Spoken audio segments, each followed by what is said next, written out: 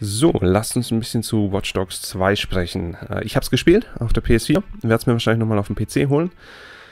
Einfach weil mir die Welt so gut gefallen hat. Ähm, das ist auch der beste Punkt an Watch Dogs 2. Ich finde sie persönlich noch glaubwürdiger als GTA 5, was viel heißen mag. Es ist einfach wahnsinnig schön gemacht. Ähm, zum einen hat man die NPCs, die rumlaufen, also die Non-Player-Charaktere. Ähm, und die wurden super designt, haben so viele verschiedene Möglichkeiten an Bewegungsmustern, sodass nicht eine Bewegung der anderen ähnelt. Wenn man zum Beispiel in GTA 5 durch die Gegend läuft, hat man immer das Gefühl, hm, okay, die meisten, die laufen halt wirklich nur durch die Gegend. Die machen nichts Besonderes. Ähm, klar, sie reagieren auf dich, wenn du auf sie schießt. Sie versuchen von dir wegzurennen. Aber das ist... Es wirkt nicht ganz natürlich, sage ich mal. Es gibt klar da, hier und da gibt es zum Beispiel ähm, in, wie heißt es nochmal, irgendwo, ähm, ähm, Hollywood Boulevard, genau. Ähm, keine Ahnung, wie es in GTA 5 selbst heißt. Die haben da ihren eigenen Namen für genommen. Ähm, gibt es zum Beispiel diesen Zombie. Den kann man sehen, kann man fotografieren, kann man mitunter auch so kleine Nebenmissionen finden. Alles cool. Aber es wirkt einfach nicht so ganz geil. Ähm, als ich Watch Dogs 2 gespielt habe, bin ich, ähm, äh, da gibt es diese App, ähm, äh, Scout X. Ähm, und dort hat man die verschiedenen Locations, ähm, wo man am besten hingehen sollte äh, in Watch Dogs 2, also in San Francisco, um, naja, charakteristische Dinge ähm, aus San Francisco zu sehen. Und äh, da war ein Teil von Scout X, äh, bin ich rein, ähm, in so einen Hinterhof. Und ich weiß nicht mehr genau, wie das hieß, aber es sah mega geil aus. Ähm, überall vielen ähm, pinke Blätter ähm, von Bäumen ganz leicht, ähm, beziehungsweise nicht Blätter, sondern Blüten halt. Ähm, dann waren mehrere Personen im Hinterhof, ähm, so wie man sich richtig hippie-mäßig das vorstellen würde. Einer am Joint rauchen, einer komplett nackt, äh, ein Mann. Ähm, da gibt es ja auch dieses kontroverse Thema mit äh, der Frau, die fotografiert wurde. Ähm, Komme ich nachher zu. Äh, jedenfalls äh, ein Mann, ähm, komplett nackt. Ähm, dann zwei Personen, die sich hinten küssen. Zwei Personen, die mit Hula-Hoop-Reifen ähm, irgendwas machen, also sie halt nutzen. Es wirkt total natürlich, sage ich mal. Ähm, und solche Momente gibt es halt nicht nur den einen, sondern viele. Ähm, teilweise, sage ich mal, eher gescriptet auch, aber teilweise auch komplett natürlich, wie in dem Fall. Ähm, und das gibt der gesamten Welt so ein richtiges, sag ich mal, lebendiges Gefühl. Also es, es fühlt sich natürlich an. Was ich meinte mit äh, der Frau, die fotografiert wurde, ähm, für die, die es noch nie mitgekriegt haben, ähm, es gibt halt nicht nur das Pendant des Mannes, der nackt ist, sondern auch die Frau. Ähm, und das war in dem Fall eine Prostituierte.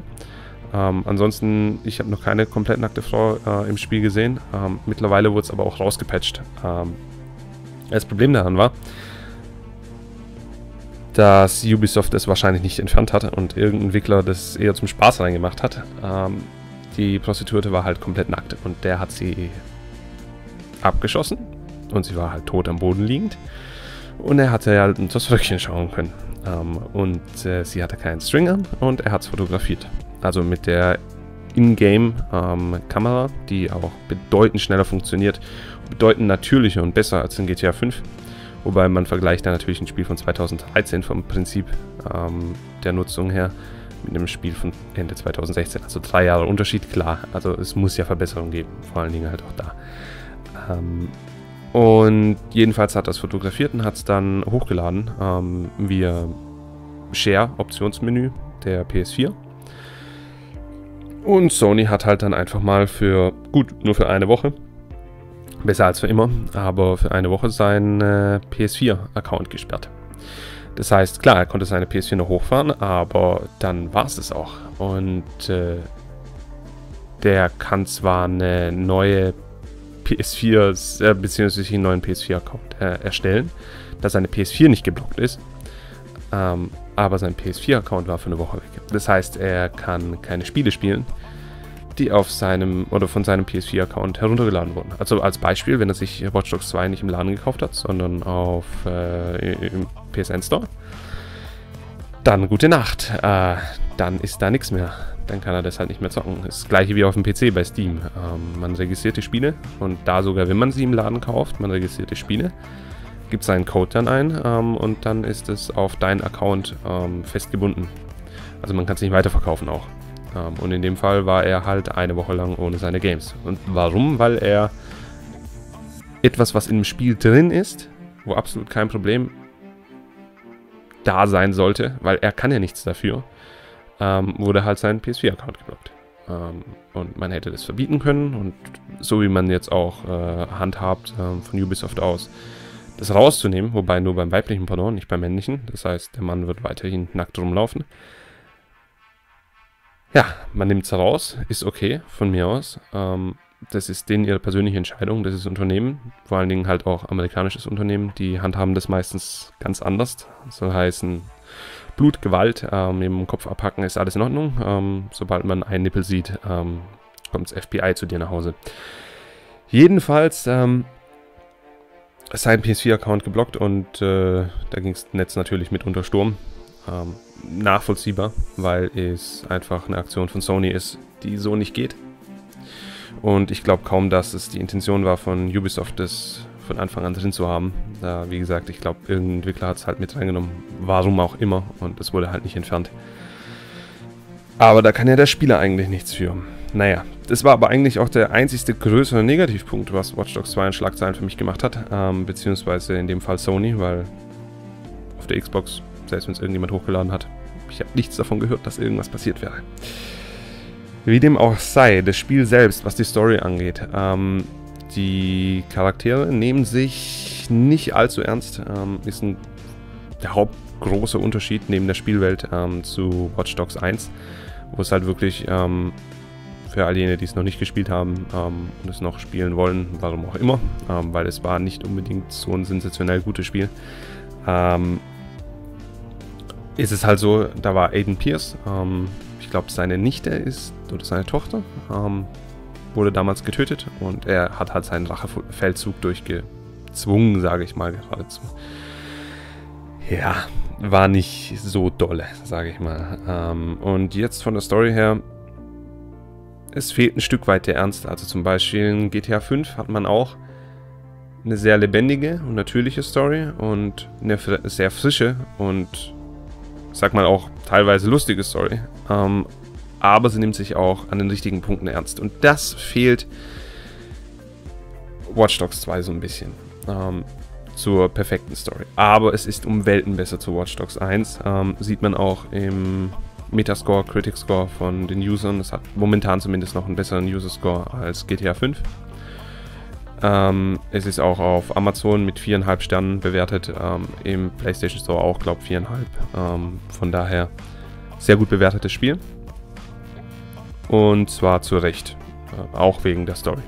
Ähm, Im Vergleich zu Watch Dogs 1 auch Riesensprung. Wie gesagt, auch die Welt außen herum.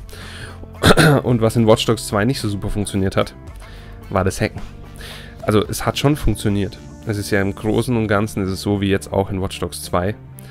Ähm, nur in den Missionen selbst hatte man die Möglichkeit, es war einfacher und meistens hat es auch dazu geführt, einfach durchzurennen und zu schießen. Und nicht die Hex einzusetzen. Und jetzt in Watch Dogs 2 ist es so, dass man sehr wenig Leben hat. Auch der Gegner, muss man sagen.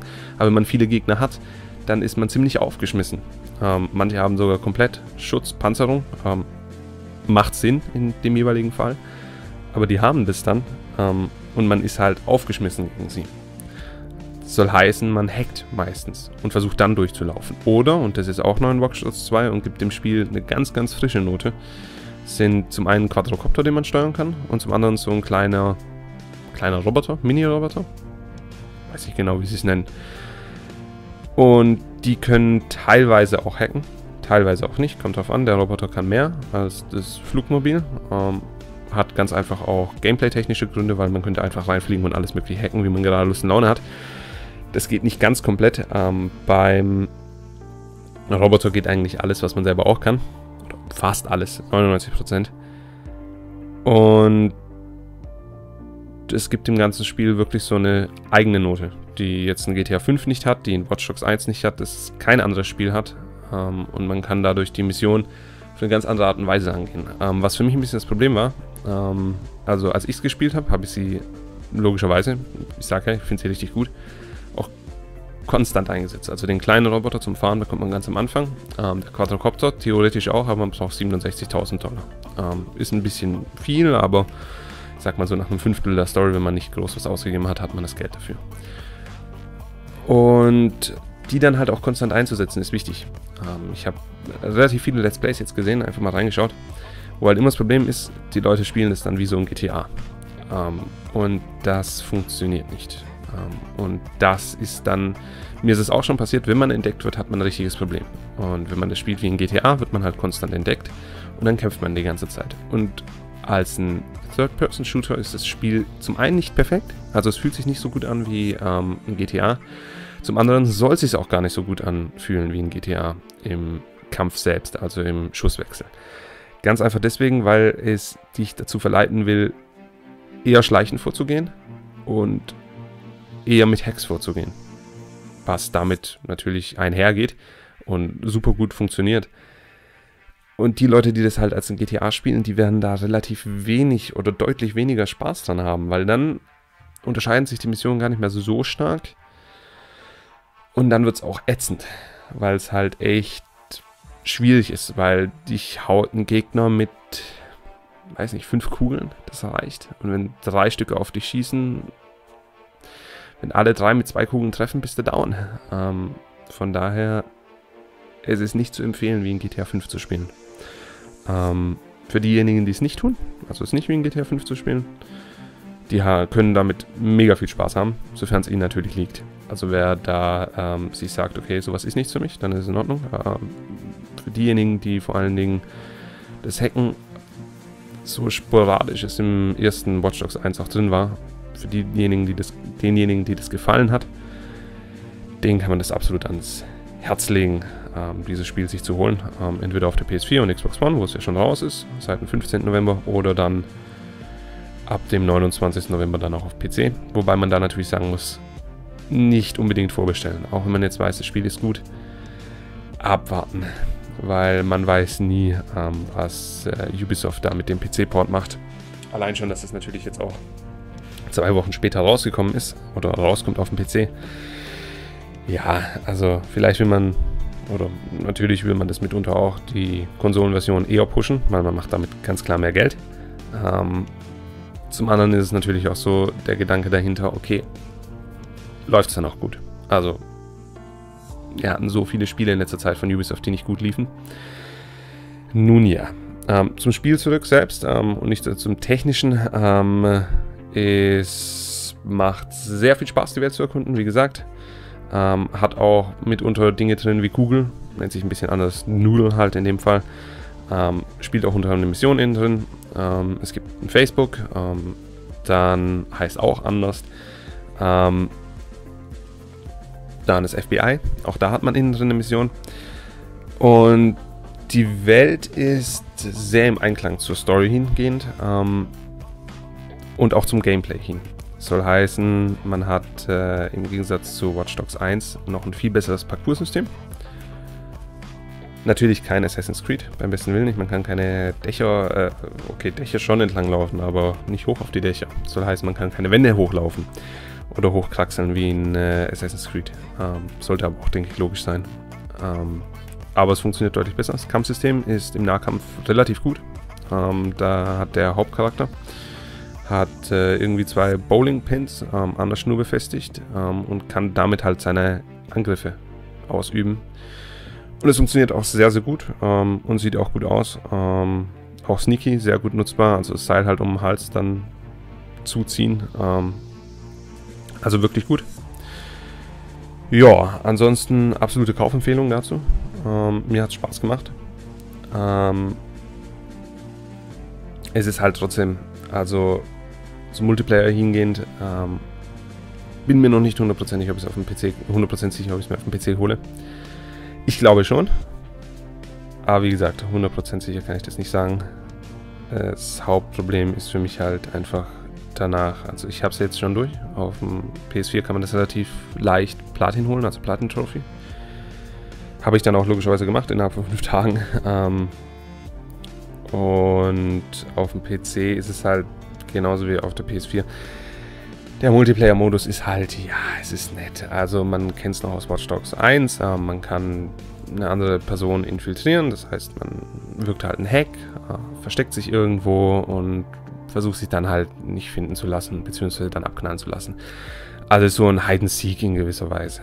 Ähm, ja, ist nett.